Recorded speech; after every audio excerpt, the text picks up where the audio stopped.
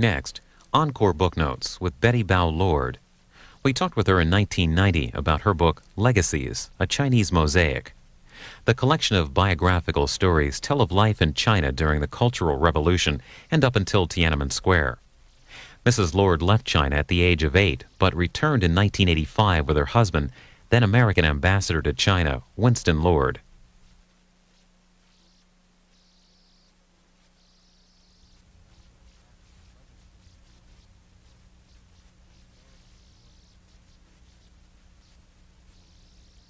As I write, meaning as you're writing your book, I am nostalgic for China. Yes. Uh, what, what made you want to say that in the middle of this book? Well, because uh, I start the book by saying I'm ready to go home, come back to America.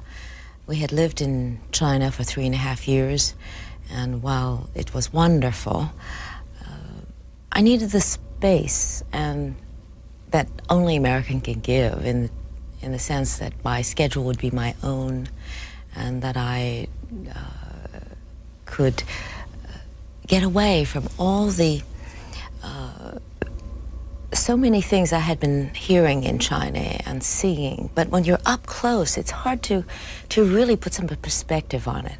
So I was so ready to go home. But as I was writing the book and writing about my friends and writing about China, I became nostalgic. So I guess it proves that we're never satisfied. Uh, many times I wish uh, that we could be, be in two places at once. Why the title uh, Legacies, a Chinese Mosaic? Well, Legacies uh, it refers to the cultural, the political legacies that the Chinese people carry on their shoulders every day, today.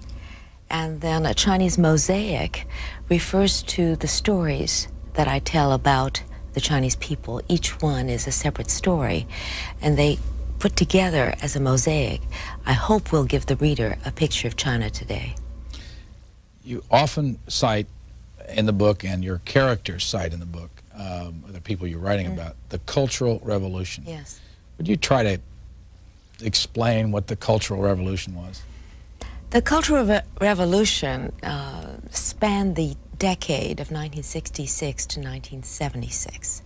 It was a time, I think, when Mao wanted to revitalize the revolution. I think he felt that somehow the revolution had become bureaucratized, and he wanted to stir up the feelings of people for change again. And he could do this only by stirring up the young people. He told them that they were the true revolutionaries, not the party leaders that ran the country. But, uh, and so he unleashed young people from teenagers to college students to go out, do as they will, and make revolution. Uh, that they only had to read his little red book, uh, follow him, and they could remake China into a better China. Well, of course, this caused tremendous chaos because young people, uh, uh, spurred by the fury of radical ideology, are capable of all things. And so many things uh, happen because of their their belief in Mao and their belief that they were capable of remaking China into a better country. Did you ever meet Mao? I did not meet Mao, but of course my husband, Winston, uh, met Mao about five times on five separate trips to China. He had seen him, uh, he'd been traveling to China since the early 70s, since the secret trip he made with Dr. Kissinger. What was Mao's, um, I want to say claim to fame, that's not the right question. Mm. What was he all about? I think he was a visionary. I think that he was a man who wanted to rid China of the foreigner, and he wanted to put China uh, on the map. I think he was quite successful in getting people to follow him and to support his ideas before the 50s. But I think this is always the problem with uh, people who stay in power too long. They, they lose their abilities to judge. And uh, just as he stayed too long in power, uh, so has Deng Xiaoping. Because both men, as uh, leaders of their country, did many great things. But in the end, they stay too long. How did you approach writing this book? Ah, I I wanted to write on several levels. Uh, the I start each chapter with the with just a headline about what happened during the seven weeks of China Spring last year. And then afterwards, I would, if that is the sort of the frame of this book, if this is the mosaic we're talking about, that I would say would be the frame. And then I would go on and tell something about myself or my family. And that perhaps would be the glue. And the mosaic pieces are the stories of my friends. I- to give them a context, to give them a frame for the reader to read the stories, not just as stories uh, of individuals, but of the Chinese uh, people uh, during China Spring. When you open the book uh, at the beginning. Yes. and you come to this page here, and we're going to see if we can get a close up of this. Um, you see this symbol, and you talk about uh, here that this symbol suggests that uh, there are other voices speaking. Yes. You don't realize that it, it, it kind of takes over the book at some point, and you see this symbol a lot. What is what's the purpose of it? Well, because I wrote these stories as in the first person. Because in many ways, I feel that ha- had I never left China as a child, I could have been any one of those 20 people that I write about. So I write as if I were them, and therefore I use the I. Well, yeah, here's the uh, page, the scholar, and uh, right in the middle of the page, uh, you see this symbol. And uh, want to ask you, who was the scholar? Ah, I don't know who the scholar is. It's one of there are two chapters um, in this book where I'm not sure who they are because they're people I've never met. During the time that I was in China, I had asked many people if I could interview them, and many of them agreed. Others who had heard from friends and friends that I was doing so would send me tapes with their stories. And the scholar was after my farewell party. I had gotten a whole bunch of presents uh, from friends who had come there, and among them were some tapes. And the scholar, uh, apparently, there was no beginning, there was no end, there was no name, there was nothing except a voice speaking to me for hours and hours and hours.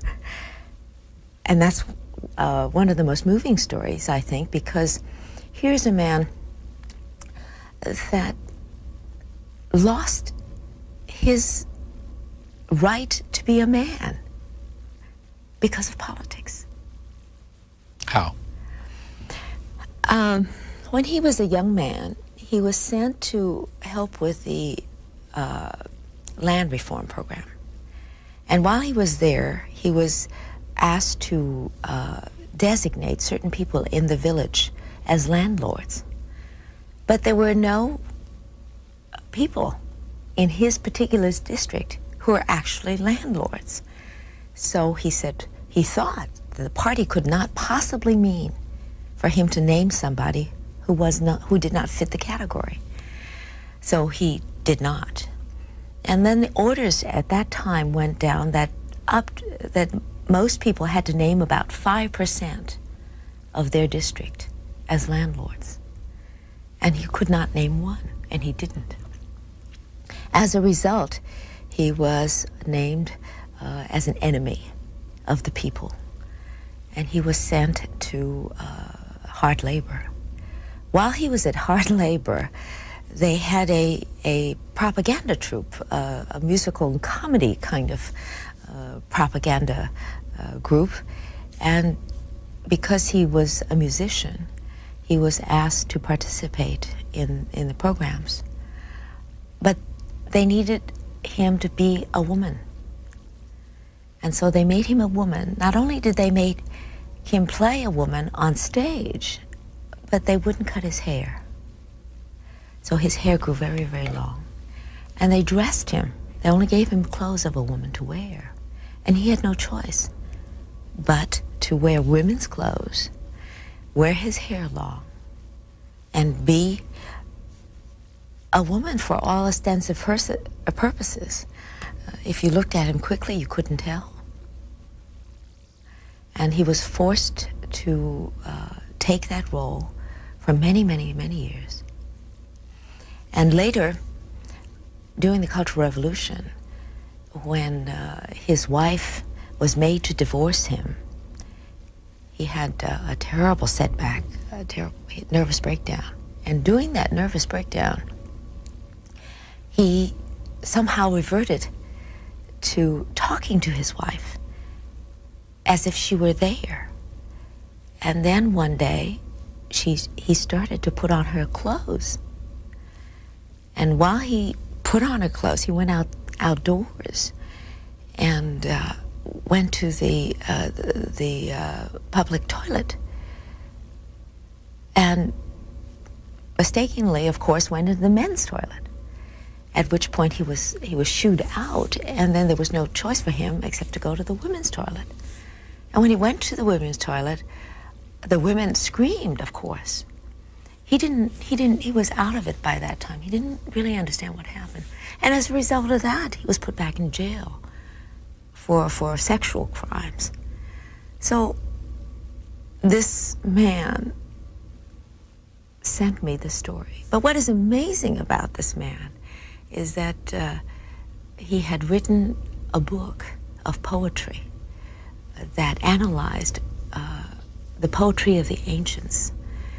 And he eventually uh, regained his, his position as a teacher, and he retired uh, at the age of 70 uh, as a teacher. How did he find you?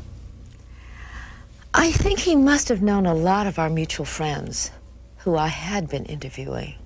And it was very funny because I had not uh, interviewed anybody with a point of view of how the politics had affected uh, femininity or masculinity.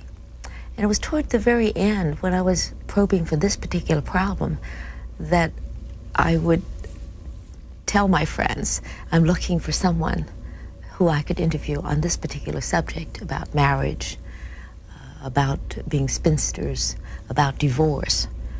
Uh, and as usually when, when I asked my friends to do this, I would then get back, well, we found someone for you, or let me introduce you to another friend. But when I asked about this particular problem, I think it was quite late in my stay. And it was my farewell party, and I think they, they felt that I did not, not have time to interview him, and he just sent it anonymously to me. You had 20, you have 20 people that you write about, mm -hmm. and, and you also, we listened to their voices through what they had to say in, in your book. How many did you decide, I mean, how many, how many were in front of you that, and you had to whittle it down to 20? Oh, many, many. I think I have about 500 hours of tapes. what have you done with those tapes? I, I plan to eventually give them to a, uh, a library of oral history. Are they all in Chinese? Yes. Somebody will have to learn. But I think it'll be very valuable for historians many, many years from now. You were born in China? Yes. Shanghai? Shanghai. Are you, for all intents and purposes, fluent in Chinese? Mm-hmm. Mm-hmm. How, how did you keep your language? Well, I didn't. I had to relearn it. I came here when I was eight years old. At that time, my parents thought we would be going back to China. And so, practically from the moment I landed here, they started speaking to me in English. They put me into school the second day I was in America. Uh, thinking that I, if I stayed a year or two here, I would go back fluent in English. They spent so much time teaching me English and stuffing English into my head. As a child of eight, the other just popped out. And it wasn't until I was ready for college, almost a year before I went to college, that I realized that I was being so stupid. That uh, all the time that my parents uh, spoke to me in Chinese, I always replied out of habit in English. That, w- that I would have to make uh, a try to, re- to relearn Chinese. And of course, because I had heard it for so many years, uh, it was not hard. But learning to read and write was harder. Parents still alive? Yes, yes, yes. Why did they come here in the first place? My father was assigned after the war to come and buy equipment for China. He was an engineer. He, he is an engineer. And where did you move to? Brooklyn. Why Brooklyn? Well, it was after the war in 1946. Housing was really a problem. My father worked, I think, um, near downtown New York, and uh, that was the, the place where he found a place for us to live. What do you most remember about your upbringing around the New York area? Uh, in Brooklyn, Brooklyn Dodgers. Long time ago. Well, yes, that's true. Um, I felt that my Americanization really uh, happened because I became a Dodger fan. Once I became a Dodger fan and rooted for Jackie Robinson, all the kids accepted me. Was it difficult being Chinese and growing up in white America? You're not going to believe this, and nobody else is going to believe it. And I think all, a lot of people are going to write me letters. But no, I didn't. I didn't find, I found uh, in PS number eight, I learned to speak English with a teacher named Mrs. Rappaport. She was wonderful, infinite patience, uh, exacting. Uh, as I said, once I learned how to speak English, once I learned how to play the American games, uh, I didn't find it troublesome at all. And how many people in your family, brothers, There. sisters? My, I have two sisters, and my father and mother are here. And you write about both your sisters in your book. Yes, yes. And how many people in your family are back in China? All the rest. How many is that, roughly? Oh, I don't know. I've never counted.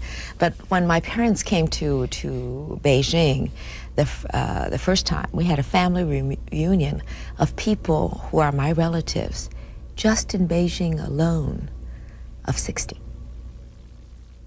And that doesn't count the other towns. You grew up in Brooklyn. Mm-hmm. Where did you go to college? I went to college at uh, Tufts University and graduate school at uh, Fletcher School of Law, Law and Diplomacy. Remember in reading the book, the, the dates I remember, and correct me if I'm wrong, it was 1946 that you came here Mm-hmm. to the United States. You first returned in 73, That's right. and what was the purpose of that visit? I wanted to see China. I wanted to see my relatives. Uh, Winston had gone, had been making several trips, many trips, and I was anxious to see what had happened Before you talk about the trip back there, where did you meet Winston Lord? at graduate school. And that was where? Uh, that was at Fletcher School of Law and Diplomacy. And he, believe it or not, on a dance floor, the first thing he asked me was the question that you had asked me before. Did, had I encountered racial prejudice growing up in America? And what year did you meet him? In 1959, When did you marry? 1963. And what was it about the two of you that, you know, growing up in a mixed family in this country, what made it easy for you?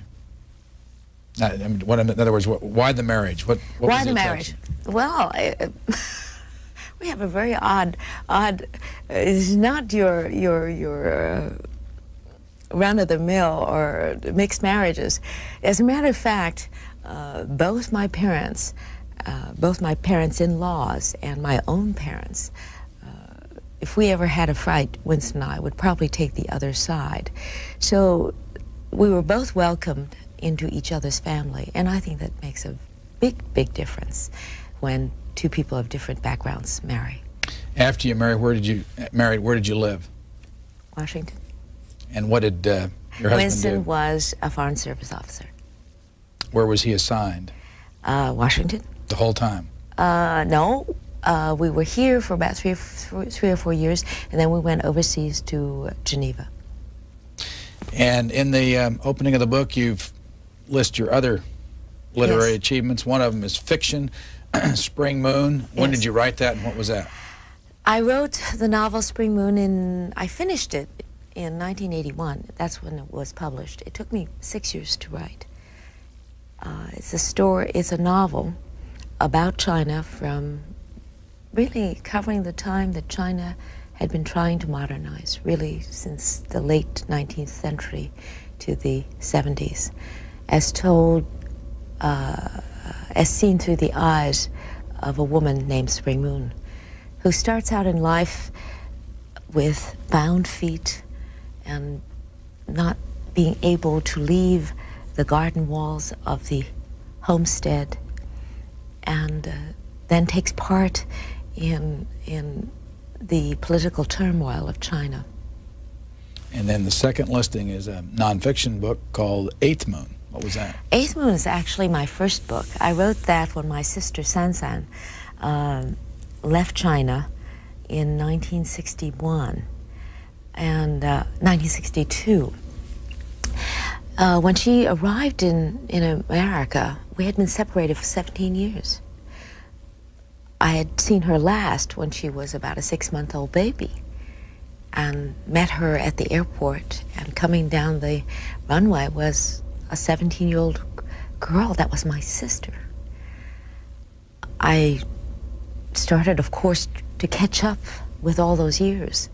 And I found myself fascinated by her life, so different from my own, and yet quite typical of a young person growing up in China during the revolutionary period, uh, right after the liber- uh, liberation of China by the communists. So I wanted somebody to write the story because in the 60s, uh, people knew very little about China.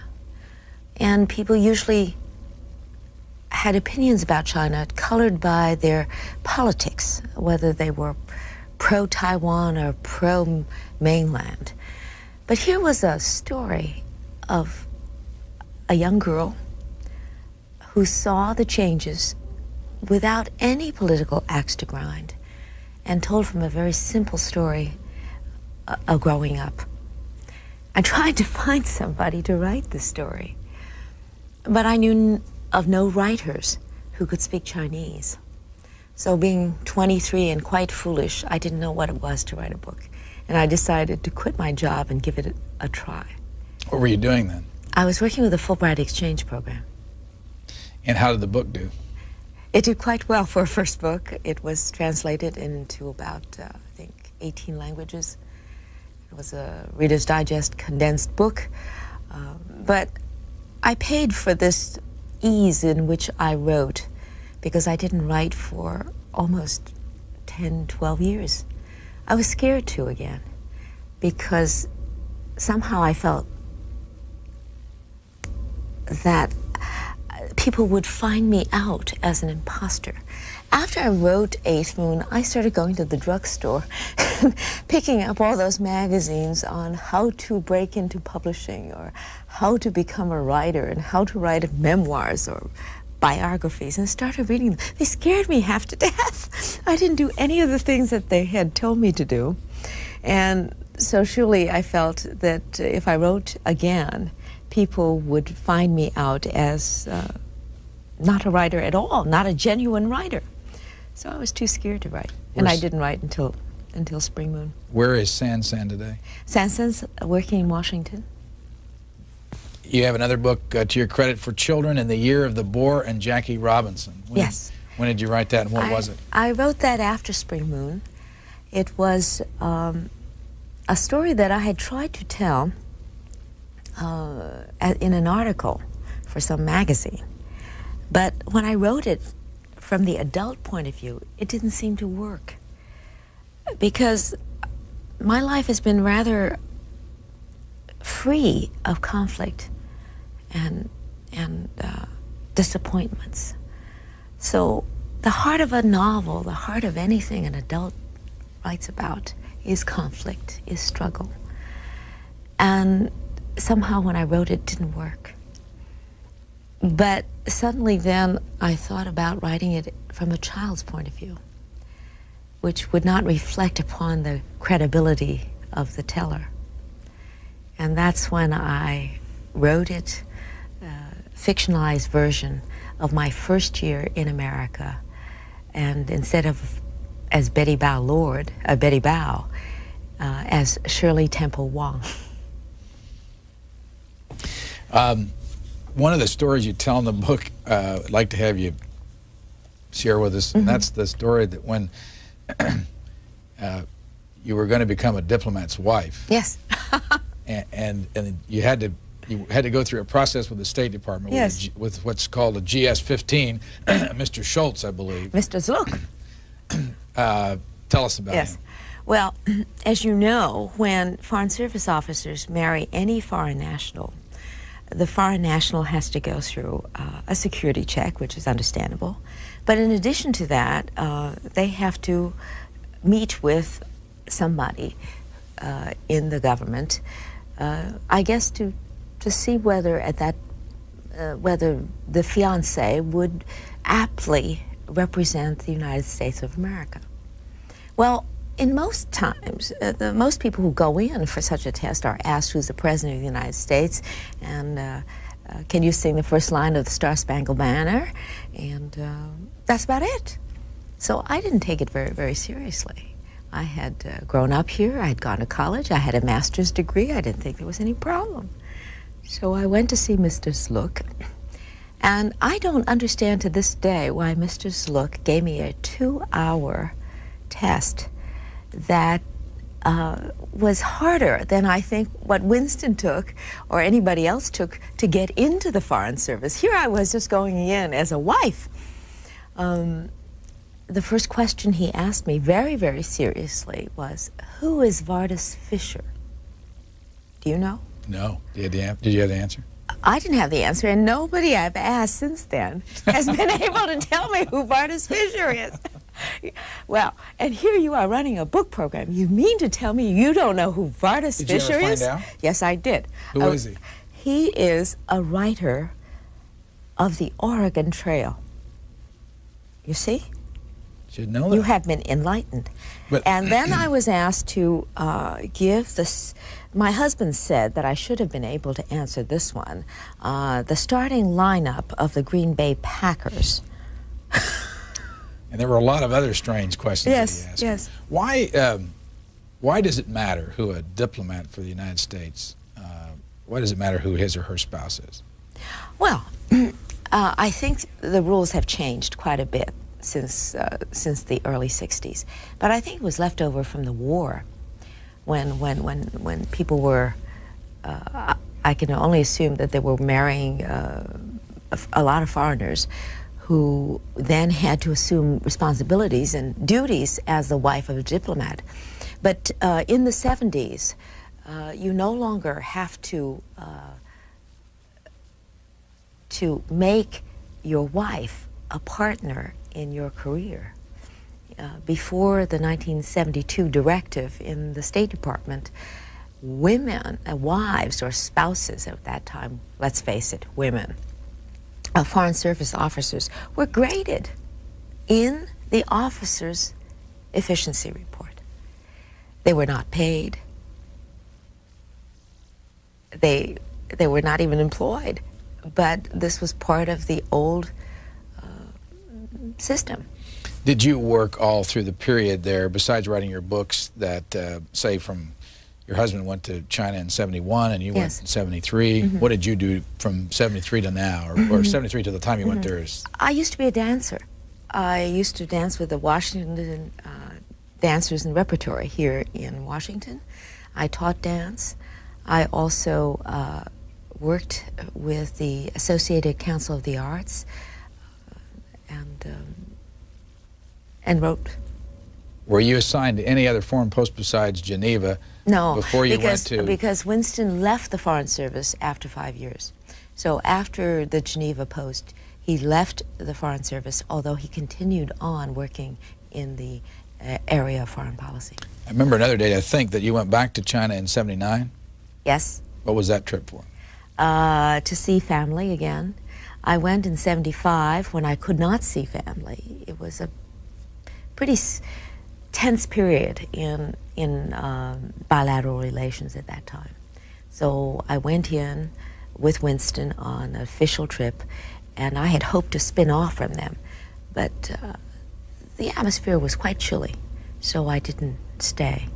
Did and then I went back in 79. Did people know when they saw you in China that you were not that it's hard to know whether you're an American citizen, but they know you were not living. I mean, they, could they tell right away? Well, I don't think they can tell now because people have changed their way of dress. But in 1971, when I first went, there were very, very few tourists at all in China. And even though I tried to dress as closely as possible to the people in the street, nevertheless, they could tell by my shoes or by the fact that I wore a, a wedding band uh, that I didn't come from, uh, that I was not a native Chinese anymore. And it was very odd going through the streets. Hundreds of people would follow me everywhere. Why? Because I looked different. I may not look different to you, but I look different to them. I was a curiosity. Page 120. Mm-hmm. The Journalist was mm-hmm. is the title of the chapter. Chinese go through life wearing masks. Yes. The ones that tradition decrees, the ones that society decrees, and since liberation, the ones that the party decrees. Yes. Did did you have a mask? When you, I mean, do you? Yes, I I uh, I tried not to have a mask because uh, I wanted to get to be friends, to get close to people. But there are certain times when you do have to, to put on a mask, especially as a diplomat's wife.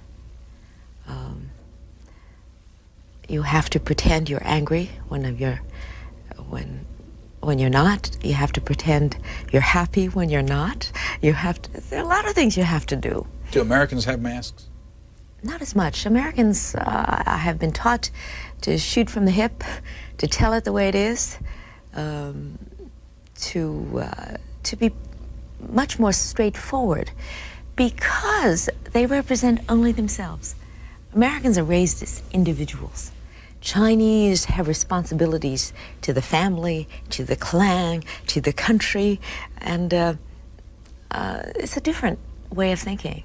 So that if you make a fool of yourself, I'm not likely to blame your son or your father. I would just think, oh, you made a fool of yourself. But Chinese usually link it all together. And so you have, you have, you have additional burdens to be good. Is there any way to describe what life is like for the average Chinese out of the 1.2 billion or whatever the number is? Well, there's no, I can tell you what it's like in the cities. Uh, usually, they have a uh, living space in Beijing at least, in the big cities, of less than the size an individual has a living space less than the size of a double bed. It's very, very, space is very, very confined. And still, there are a lot of housing problems for them. So, living in a tight space also calls upon putting on masks. Um, and there are many times when two or three generations have to share an apartment. And then again, you have to pretend that uh, you like your mother in law very, very much, because if you didn't, you couldn't live together. so that, that's where the masks come in. And the government usually assigns you to your work and your schooling. Uh, uh, during the decade of reforms, there have been other outlets but more and more, it involved using the back door, using connections, and uh, the system had become more and more corrupt. So that uh, knowing someone who can pull strings uh, was a great help in life because otherwise you couldn't get things done. In fact, I once had to uh, indulge in corruption. It involved getting a car phone for Winston. um, we were told uh, that for the ambassador's car to have a car phone, it would take three and a half years. so then I was told that if I could get somehow two tickets for an Alan de Lyon concert for this Chinese who gave out these car phones for the government, that somehow miraculously Winston would then have a car phone. So I went around and uh, got two, two tickets for an Alain de Lyon concert at the Workers' Stadium for this woman. And sure enough, the next day we got the car phone. I felt I felt very guilty about it because this is the kind of small corruptions that leads to big corruptions. But on the other hand, Winston was in the car going to the airport or elsewhere at least one or two hours a day, which meant that he was out of touch with the uh, with the office, and I, I guess I rationalized that it was important. You say that your I remember reading that your husband was proud to say that he'd been to all 23 districts in China. Uh, provinces. Yes. Provinces. But you were glad that you didn't have to make every one of those trips? Yes. Why? I'm a, I love to sit and talk to people. I'm not a great uh, tourist. I prefer getting to know the people. And usually when I am with Winston and touring, we usually don't get to, to really know people. We get to, to go to banquets and talk on official subjects. And uh, I usually have to do a lot of the translation, at least. Uh, uh, and, and I find that it's less, landscapes are less interesting to me than people. And he could speak, what, you say, pidgin Mandarin? yes. Well, this is because when he started out as a Foreign Service officer, because he had married a Chinese national, the State Department told him that he would never have anything to do, he, could, he would be barred from participating in China policy because of his uh, marriage to a Chinese. That rule, of course, was changed later, but at the time, uh, when he was uh, learning languages, uh, he thought, why learn Chinese if I could never use it professionally. When I read uh, a, a, little bit, say, unlike the peripatetic Winston, what did you mean by peripatetic Winston? He loves to travel. I was raised in a family in which having a wonderful holiday meant sitting at the kitchen table drinking tea, mm -hmm. nibbling watermelon seeds, and talking. Father, mother, and I would often linger there from breakfast until long after the witching hour. Yes, yes. Talking? Talking, talking. My father and mother are great storytellers. And so I was, uh, the pleasures for me have always been conversation. And uh, because we had no other family but each other here in the States, uh, I often sit and they would tell me about my grandparents, uh, my other relatives in China. I'm very lucky that they did. Otherwise, I don't think I could write about China with the, uh, with the facility that I can uh, without those stories, without somehow feeling that I had lived them too. Americans are self-selected breed programmed by their genes to be forever on the go and cursed by the fates never to enjoy luxuriating in the material comforts and spiritual splendors of home. Now, you have to say that that's an I was I was trying making fun of both sides, and that's the way I make fun of Americans. Uh, the opposite, you know, Americans, I think, in many ways, are a, a self-selected breed. We're a country of immigrants. If we didn't want to move, and if we didn't want to seek, uh, push back the horizons, uh, we would not come to America from all over the world. Those of us who have come, uh, some, most of us, it's not an easy trip. I don't mean in terms of transportation. I mean leaving one culture, going to another, starting over. These are difficult things. I mean, and then what amazes me most about the American spirit is the spirit that uh, had people go and settle the West, where people lived hundreds of miles away from each other. Um, for people who like to sit at the kitchen table, it's it's difficult. You also talk about language. You say after a while the American side slumbered, however, unable to appreciate how the mere act of speaking in Chinese confers so much satisfaction that what is said hardly matters. What about language? Is Yes. it which one is harder? Uh, Chinese or, or English?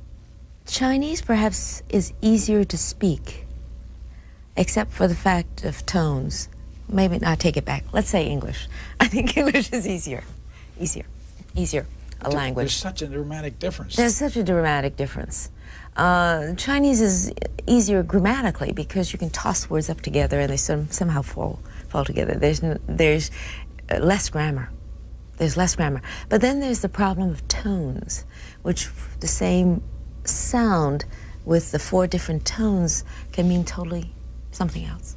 As I read the book, I saw you jumping back and forth Chinese, American, Chinese, American, Yes. language, uh, customs, Yes. masks. Where are you now in your own head?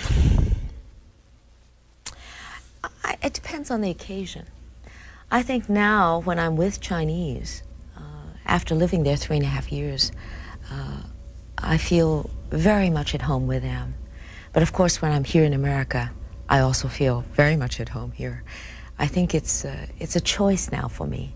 The uh, the two parts have never been at war with one another, so uh, I think I'm doubly blessed. This is the book, Legacies, a, China, a Chinese Mosaic. Bette Bao Lord is our guest, and we're talking about a book she completed in what month last year? uh, in the end of October. How much of your experience during the Tiananmen Square happenings uh, did you want to write about in this book? Uh, I actually did not go into the square except one evening. Uh, although I was not uh, any longer the ambassador's wife, uh, Winston had left the country. Uh, I had been hired by CBS to be a consultant actually on the Gorbachev visit in January, and I had returned to China to work for them. But I was I am recognizable in China. So I did not want to become a part of the story, thinking that if I went into the square and was recognized, uh, that I would become part of the story. So I only went once at night, and another time when we were doing 48 hours with uh, Dan Rather, when I was standing on a truck, so I wasn't part of the crowd. Uh, most of Legacies is not about my participation, except that what I saw, I saw people who were suddenly together as a community.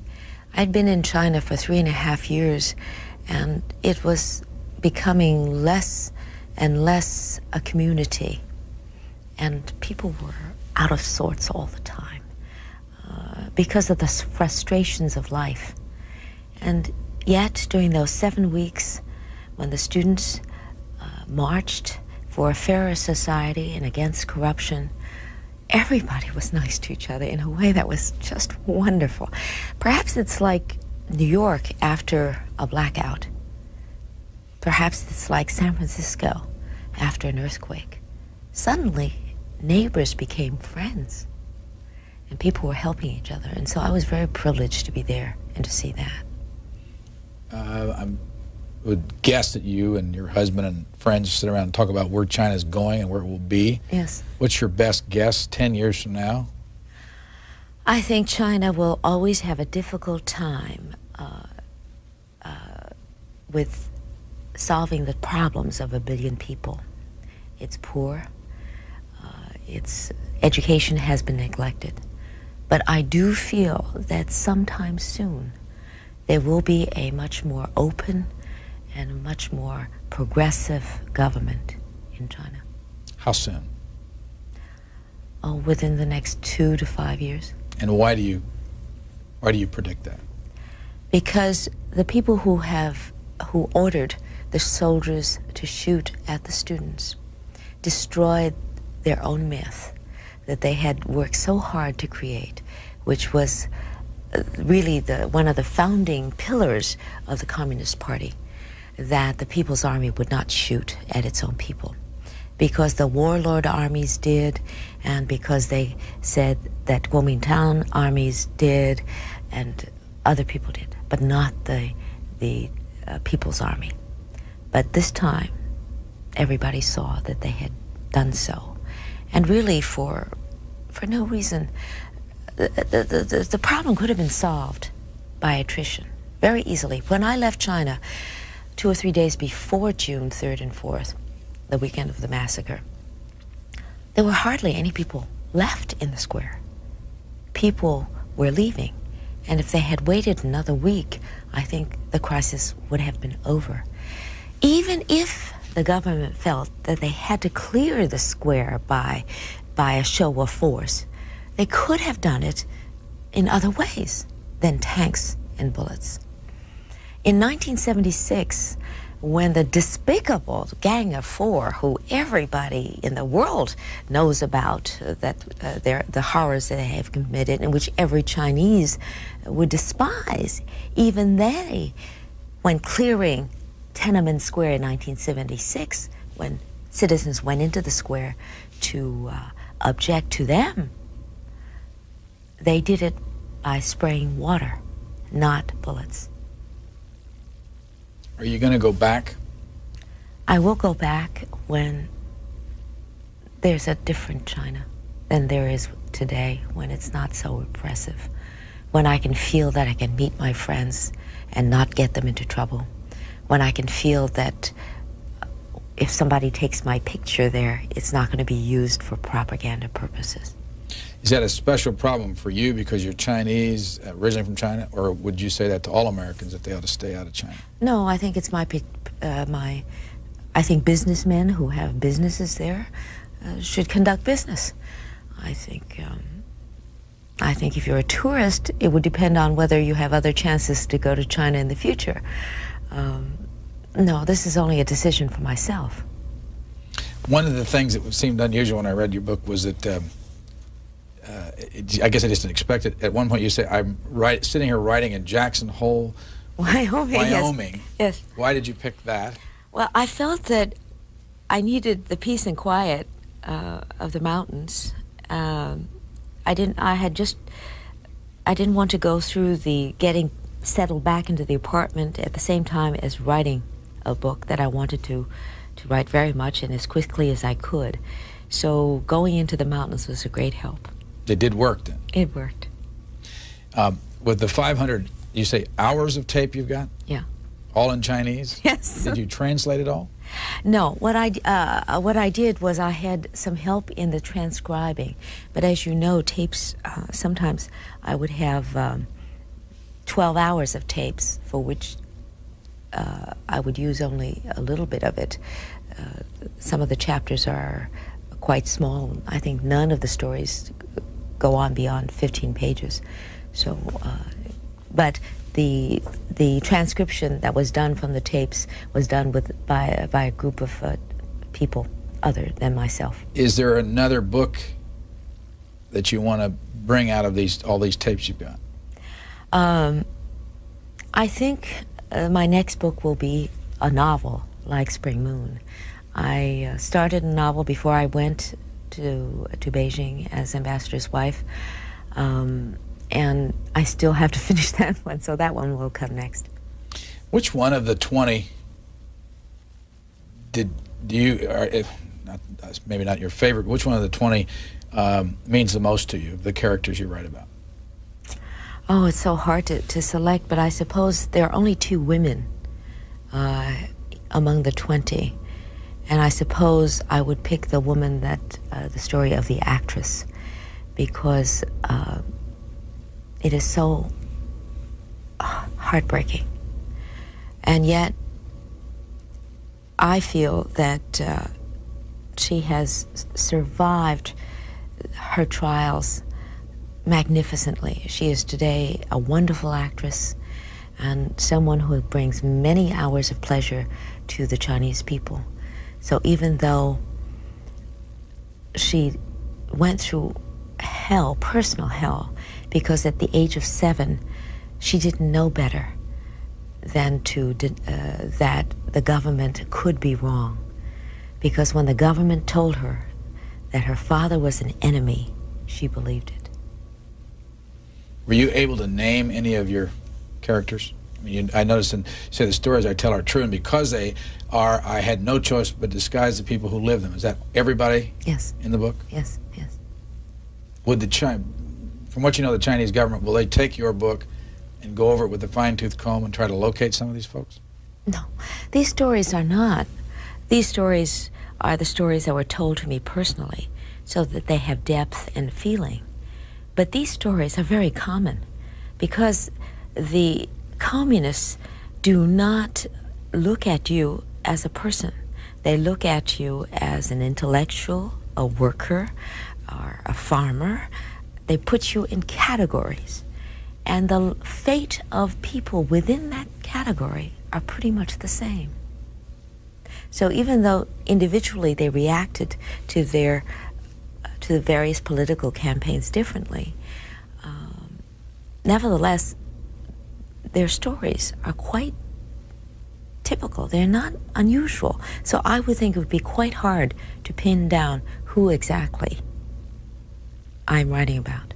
What, what kind of a grade would you give? Uh, forget the politics of, of China, and if you found yourself having to run 1.2 billion people, what kind of a grade would you give the administrative function in China right now of keeping track of all those people and collecting taxes and and paying them and uh, I, I think that I think that the organization, the network, is very, very deep and thick. Uh, there are many, many places. Bureaucracy is incredible. It's not just the communists. Uh, China invented bureaucracy. um, but what has happened is it, the, the system is very comprehensive. But what has happened is every point of this comprehensive system, the person has become corrupt in the sense of the tax collector will collect taxes from you, but not from a friend. The tax collector will will trade uh, how much tax you have to pay for uh, a, a favor in return. So I would I would say the system is not working, and that is why the people marched. Uh, this is kind of jump. This is mm. may not fit together, but I think you'll get what, I'm getting at. But It is also true that at every step along the way, somebody always darted out and squeezed them. The neighbor down the road who now charged for the use of that road, the village headman who withheld fertilizer for favors, the local party secretary who fixed the quota of grain they must sell at artificially low prices to the state.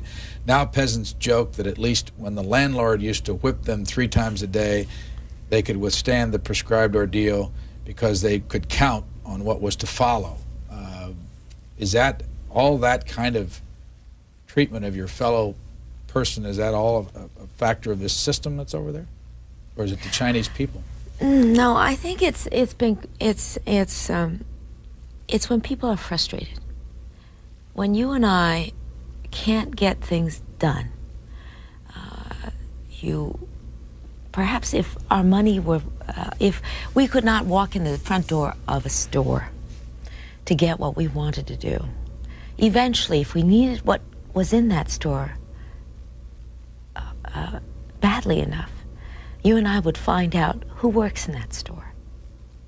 And then, is there somebody we know who knows these people? And can I give them uh, a call and get them to take me to the store so that I can get the thing that I need? It's not something so terrible that's incomprehensible. It's because people because the party makes so many decisions for the people that they can't seem to manage to to to uh, manage their their destiny. So more and more people find other ways, underhanded ways, under the table ways, connection, making connections to resolve these problems. Um, another line is. Uh, if the United States, with its legacy of an open society and a free press, could be reshaped by the small screen, imagine its impact on China. You're talking about television. Yes. What kind of control, I mean, what kind of television do the people of China have today? Uh, I think there are almost 200 million sets there, and uh, people in the cities have them, and at least villages would have one which everybody sort of come around and, and take a look at.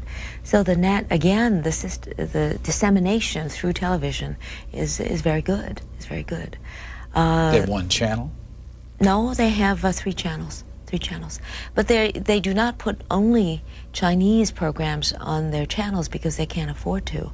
They have uh, many programs that, that they have bought from the United States. For instance, Hunter is a regular program in China. So is Mickey Mouse and Donald Duck and Walt Disney, uh, other pictures. So they, they bought, I think, from CBS over 200 old movies, which are shown. Um, and uh, Little House on the Prairie was the biggest hit in China, too. What impact did that have on the society? Tremendous impact. Tremendous impact. Because that particular program is about a, an American family who sticks together, who have differences, who have generational problems, and yet they have somehow worked it out amicably.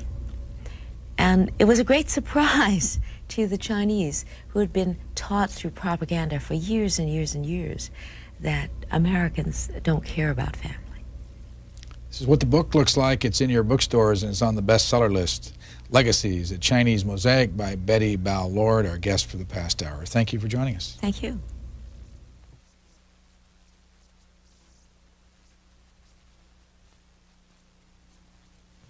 About a year after our 1990 interview with Bette Bao Lord, Fawcett Books published this paperback version of her book, Legacies. Fawcett is a division of Random House at 201 East 50th Street, New York, New York, 10022. Ms. Lord has written other books, including Spring Moon, Eighth Moon,